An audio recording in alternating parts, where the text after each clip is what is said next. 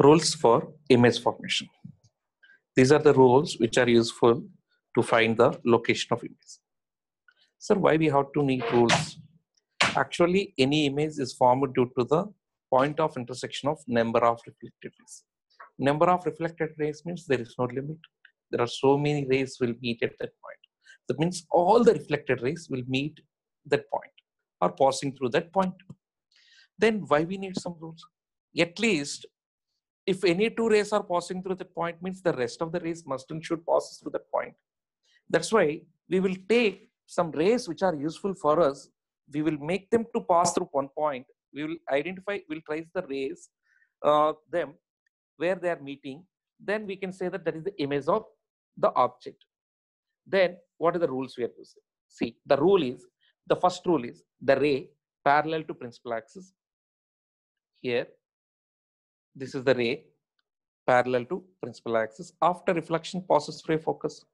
Now, here this is the ray which is parallel to principal axis. After reflection, it passes through focus. After reflection, it appears to pass through focus. This is one of the ray we will use for image tracing. And everyone should remember these rays formation, you have to by heart. You should not forget them statements. Now, second one, reversibility. Suppose if any ray is passing through focus, afterwards happens? What happens? It reflects and it becomes parallel to principal axis. That means here in case of convex mirror, what happens? It appears to pass through focus. Then after reflection, it becomes parallel to principal axis. After reflection, it becomes parallel to principal axis. Now, listen. Suppose if any ray, third one, if any ray passing through center of curvature, see here, uh, this is the ray which is passing through center of curvature. This is the ray which is passing through center of curvature, red line. Then green one is the reflected ray from the mirror which is passing through center of curvature. Retraces its path. That is called retracing the path. Whatever the path is following, the same path reflected ray will follow. That is called path retracement. Suppose in case of a convex mirror, the green line is the incident ray, which appears to pass through focus. Before passing through focus, it falls on the mirror. That's why it gets reflected and moves in the retraces path, blue one. Now, last one is, if any ray strikes the pole, is reflected symmetrically back in the opposite direction. Let's see here. If a ray is striking the pole of the mirror here, this is pole.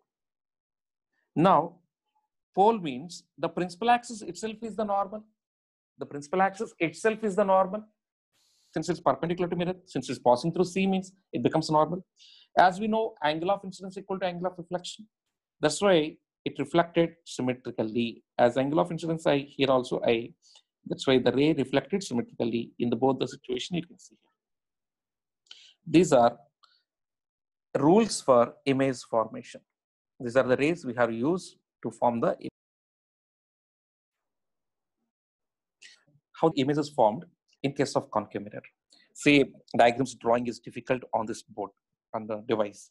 That's why I'm using the pics, then simply understand and any doubt is there, ask me. Message. Now see here, we will go for concave mirror. And in concave mirror, if object is located at infinity, where the image is formed. The image is real, when the object is located at infinity in case of concave mirror, inverted, very small, and at f. Now see here, if the object is located there, therefore this was the image. Whatever I'm drawing on board, that is the image. And uh, it is formed at focus. That means in the focal plane. Focal plane means it is a plane perpendicular to principal axis and lies focus. And focus lies on that plane. Now here these are parallel rays. This indicates that these rays are parallel means this indicates that they are coming from infinity. These are the parallel rays which are coming from infinity. You can see here, this is the ray which is passing through focus. That's why it's reflected parallel to principal axis. And this is first ray. Now second ray is passing through center of curvature. That's why it's retraced. And these two points are meeting here. That is called image. This is called image. That means it is the image formed by first mirror, concave mirror, when the object is located at infinity. This property everyone has to remember. If the object is located at infinity, then image will be formed at focus or in focal plane. And the image is real, inverted, very small. Now, coming closure. That means if you are coming from infinity, and also lies between center of curvature. If the object lies between O and C, now see here, the ray which is parallel to principal axis, what happens? After reflection, passes through focus. This is the ray. Now the ray which is passing through center of curvature will retrace its path. Now these two rays are meeting here, therefore it is the image which is formed. This is the rays image formed. Now you can see here, the image is once again reinverted. It is formed and also is forming due to converging rays. That's what real. And if you compare with object size, it was diminishing. And where it is lying between means F and C. It is lying between F and C. Now, if you are coming for the next position, if the object is located at C, if the object is located at C, then where the image is formed, once again at C. If the object is located at C, image also forms at C. Now, what are the rays we're using? Once again, same. The ray which is parallel to principal axis after reflection passes through focus. The ray which strikes at pole and gets reflected symmetrically. These two are meeting here. And if you see the height of object and height of image is same, that's why both are of same size, real, inverted, and forms at C. Now, coming closure next. Coming closure means it lies between F and C. It is lying between F and C. If the object is lying between F and C, then once again we are using the ray parallel to principal axis after reflection passes through focus.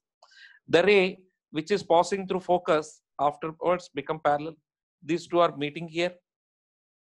These two are meeting here and beyond C. And also it is formed due to converging rays. This were real, inverted. And when we compared with object size, it was enlarged. Now, if you come to the next one, if it focus, then obviously it will form at infinity. They are becoming parallel here. The rays are becoming parallel. The last one is very, very important. Here in the last situation, object is lying between F and P. Whenever object is lying between F and P, we can say that the ray parallel to principal axis after reflection passes through focus.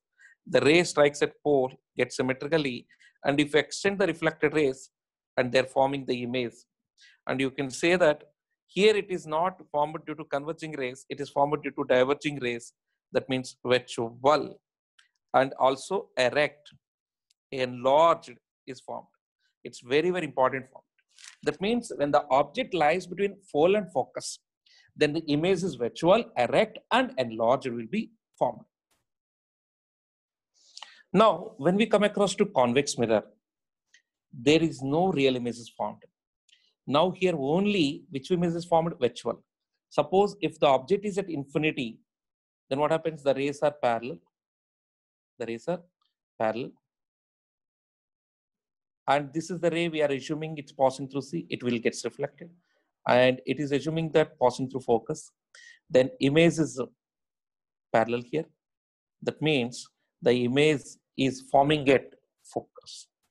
That means the ray which is parallel to principal axis here. Therefore, if the object is at infinity, then image will be formed at focus, virtual, and this one. Now, if you place any position in front of the mirror, the image is always formed between pole and focus. In front of the mirror, if you place the object in front of the mirror, this is the ray parallel to principal axis. After reflection, it passes through focus. This is the ray which strikes at pole, gets reflected symmetrically. If you extend, you will get it here. Then here also virtual, erect, and diminish between P and F. Then how to identify? Now I'll ask a simple question. These results, anyway, you have to draw and you have to remember. And you have to remember the results.